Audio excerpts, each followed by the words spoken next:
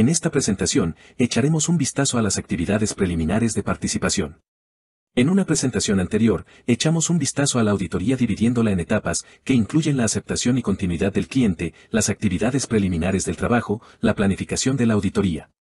Considerar y auditar el control interno, auditar los procesos de negocio y las cuentas relacionadas, completar la auditoría, luego evaluar los resultados y emitir el informe.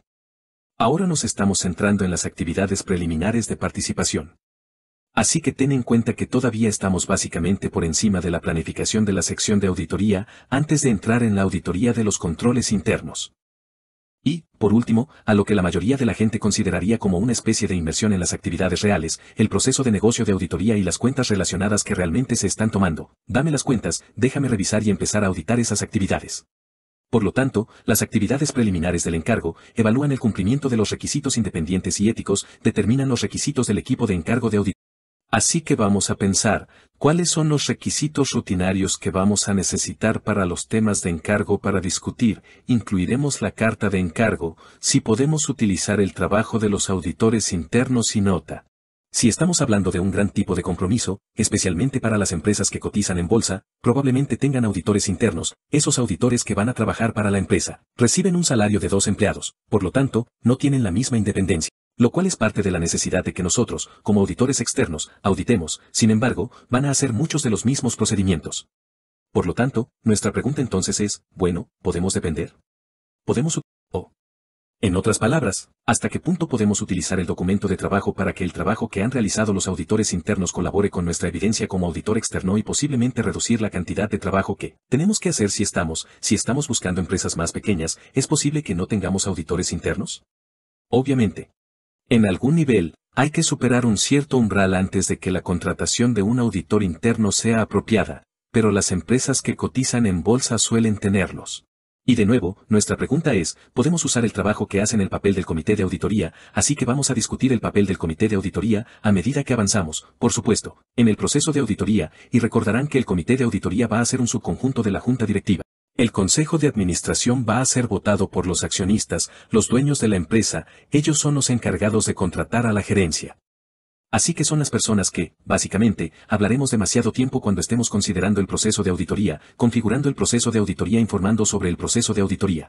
Y cuando emitimos el informe de auditoría, los documentos de la carta de compromiso, los términos del compromiso, incluyendo ahora que estamos hablando de la carta de compromiso. Obviamente cada vez que tengamos un nuevo compromiso, queremos dar la carta de compromiso y recomendaría esto con casi cualquier tipo de compromiso, por supuesto. Lo querríamos con una auditoría, porque es un tipo de proceso bastante formal, pero lo quieres básicamente con cualquier cosa que estés haciendo, ya sea que estés haciendo contabilidad o algo así. Probablemente quieras la carta de compromiso de impuestos carta de compromiso, algunas razones diferentes, porque quieres enumerar exactamente lo que es.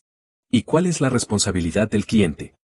Si no tiene los términos muy bien establecidos, entonces es muy posible que las dos personas involucradas o las entidades involucradas no entiendan lo que está sucediendo o lo que se espera. También es posible que ocurra una especie de arrastre en el trabajo, podríamos llamarlo así. En otras palabras, es posible que el cliente pida poco a poco más tipos de servicios y los brinde sin reevaluar básicamente cuál es el compromiso. Lo que los términos reales posiblemente no son, ya sabes, facturarlos de la manera adecuada que deberíamos estar haciendo dentro de una auditoría. Es muy importante para nosotros determinar por adelantado esto es lo que estamos haciendo, esto es lo que están haciendo. Podría ser muy confuso para las empresas más pequeñas que pueden no tener tanta experiencia con la auditoría tener esa separación de lo que está sucediendo aquí. ¿Cuál es el propósito de una auditoría, especialmente para una pequeña empresa? Tal vez necesiten una auditoría para un préstamo o algo así. Podrían tener la impresión de que la firma de CPA está ahí para básicamente armar, ya sabes, hacer más trabajo para ayudar a armar los estados financieros o algo así.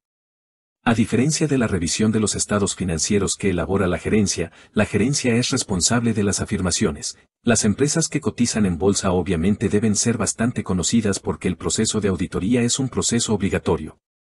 Entonces, carta de compromiso, luego queremos enumerar los objetivos. Queremos saber cuáles son las responsabilidades de la gerencia, y queremos saber cuáles son las responsabilidades de los auditores. Queremos hacer cualquier limitación de los encargos que queremos enumerar cualquier tipo de limitaciones de la carta de encargo que también puede incluir, por lo que estas son básicamente las mínimas. Esto es lo mínimo de lo que tendríamos en la carta de compromiso. Podríamos incluir además de los planes mínimos para el uso de especialistas o auditores internos. Por lo tanto, si existe un plan específico para el uso de la información del auditor interno, o si necesitamos algún tipo de especialista, por ejemplo, para revisar el valor de ciertos activos o algo así, también podemos enumerarlo en términos del trabajo. Por lo tanto, esa es una clara limitación de responsabilidad del auditor o cliente. Por lo tanto, podemos poner algo así como un descargo de responsabilidad, la limitación de la responsabilidad del auditor o del cliente, cualquier servicio adicional acordado para ser proporcionado. Entonces, si tenemos algo más allá de la auditoría, queremos enumerar, oye, esta es la auditoría. Este es otro compromiso que podríamos tener. Ahora tenga en cuenta que probablemente desee tener esto fuera de la carta de compromiso. En otras palabras, si vas a hacer la auditoría, y luego también vas a hacer el trabajo de impuestos o algo así, podría ser mejor decir, oye, aquí está la carta de compromiso de auditoría. Aquí está la carta de compromiso fiscal que tal vez desee alcanzar, en otras palabras, para que no empiecen a mezclar estas cosas en la mente del cliente y barra diagonal o en la de ustedes mismos y en la firma de CPA. Ahora vamos a echar un vistazo a un poco más de detalle relacionado con el Comité de Auditoría. Exigencia de los miembros del Comité de Auditoría de las Sociedades Anónimas. 6.3. De acuerdo con la sección 301 de la ley Sarbanes-Oxley, un miembro de la junta directiva e independiente, directamente responsable de supervisar el trabajo de cualquier firma de contadores públicos registrada empleada por la empresa, debe aprobar previamente todos los servicios de auditoría y no auditoría proporcionados por sus auditores, debe haber establecido procedimientos a seguir para las quejas y debe tener autoridad para contratar a un abogado independiente.